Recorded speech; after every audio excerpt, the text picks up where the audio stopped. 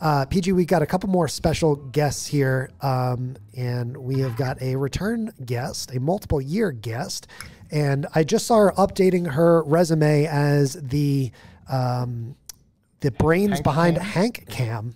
Um, her name is JJ Really, Sheffer. just truly exceptional work. Uh, if you're just joining us and Probably why you, my nose is so itchy, actually. I'm very allergic to dog. It is the second dog today. What a great day. what a great day. But Hank was just spectacular. I miss Hank. So uh, earlier today, JJ, you were here talking about York Story Slam. Now we're going to be talking about Kable House Presents.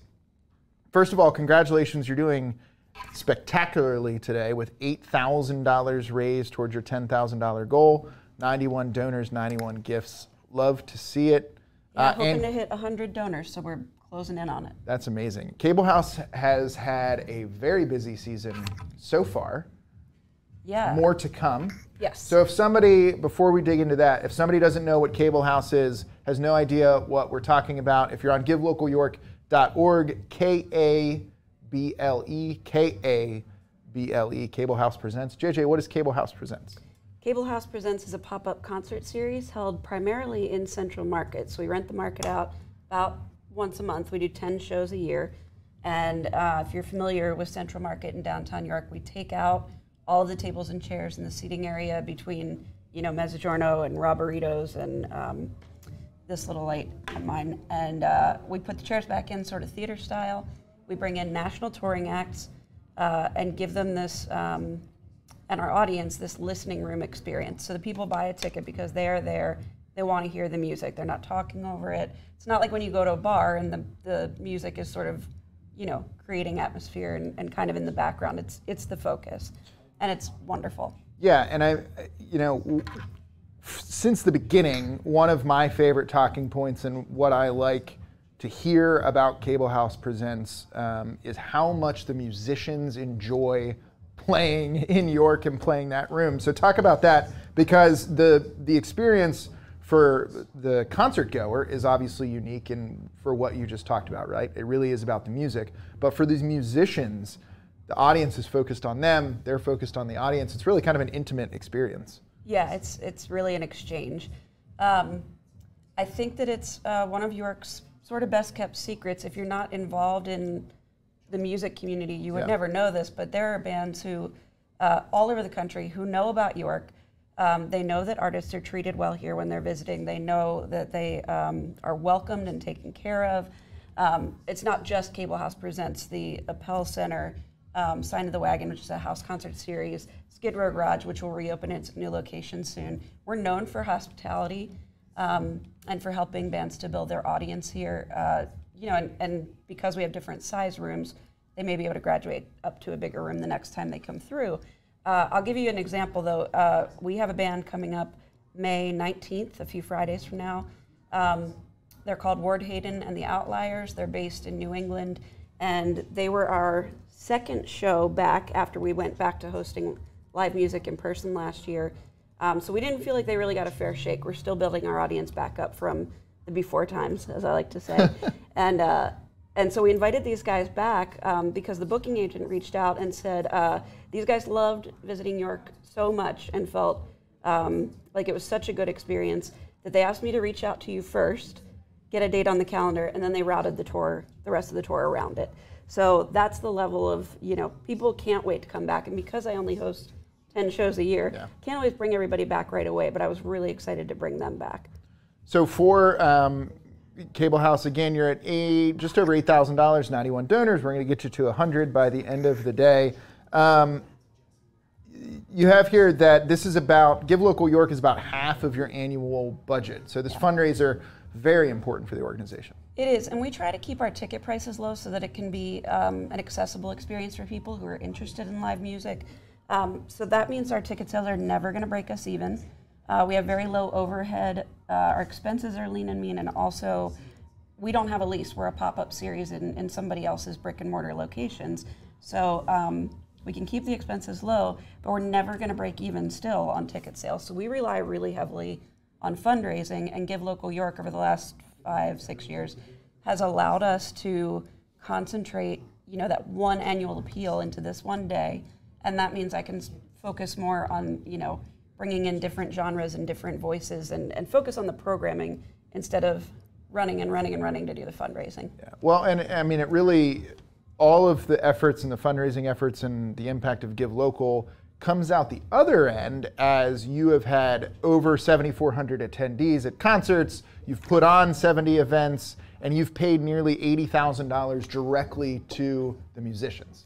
That's the number I'm most proud of. Yeah, especially given what we've just come through in the last few years. Uh, in 2020 and 21, 2021, I did a lot of, spent a lot of my time doing advocacy work uh, for COVID relief funding for small venues because as the small venues were closing up, that messes with the touring routes the artists are stuck at home. Their livelihood was, was taken very abruptly.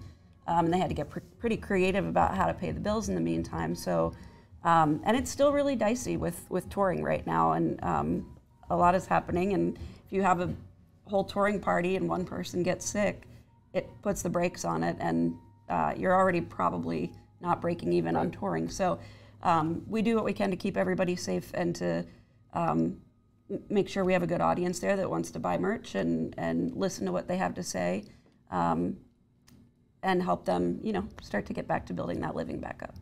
Chris, do you think we could um, hit the woo button? Yes. Well, yes. First of all, we hit 2.9, so we do need a Bob Woo. Beautiful. What else you need? Uh, do you think? Can we show that there's a 30 second Kable House presents video on the Give Local on their Give Local page? Can we watch that? Um, I can pull it up if you ask JJ another question and you give me a minute to find Oh, it. yeah, How- How about if absolutely. I set up that video a little bit? Because it, it is. Is that pre-pandemic? That video? Yes, that was uh, that. The footage you'll see was shot in February of 2020, so Yeah.